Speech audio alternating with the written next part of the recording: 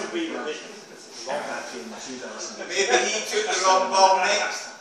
Jake, extensively investigated. If you are that Liverpool will play for 50 quid, otherwise shut your fucking mouth. Uh, I ain't playing you fucking 50 p, mate. No, you're better than me, you obviously know. No, I do not. Well, Jim has got a point. You are better than me at pool. Well, why buzz off then? That I don't know what I'm talking about. Because I'm allowed to. I, oh, well, we'll go outside and we'll talk about it then. But it's not easy. Right, we will. That's something that Any day, mate. Do you want to go outside? Do you really want to go outside, boy? Because I'll knock the fuck out of you. Well, you want to go outside and talk? What do you think you talk about outside? What do you think you talk about outside? Let's get in the car. Have you ever done anything on this scale? Put your hand on me, boy. I don't like people putting hands on me.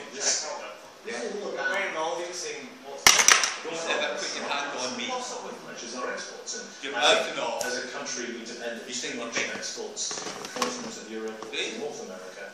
You look at a country like India and you say, Britain's going to be more Very short, this. It's not all sunshine. Previous Indian government promised to Go for it then. modernize India, What? been defeated You think? by the elements. Go for what? Typical Mumbai monsoon, washing everything wasting clean my and time. new. It's what the Indian people You've have just proved proved yourself to be expect nothing. of Mr. Modi's government and what he's trying. I just proved myself to be a man. I think we have a very good uh, chance right now. I just proved myself to be a man. One shot, mate. One shot. It's still one shot. Maybe this is, uh, this is counter policies for the short term. That's something that- How close you keep? Okay, Jim. Reasonable effect. That close. Sure. You know for me. No, you're right, yeah. And all of those, uh, things. And therefore, uh, we are all very optimistic about, uh, about what the government will do.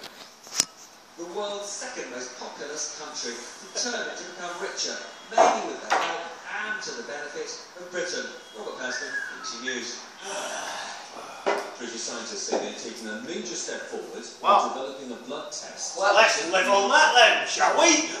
Research involving more than a thousand people has identified a set of proteins in the blood which can predict the start of Henry White's gone. high Why, look accuracy. at that.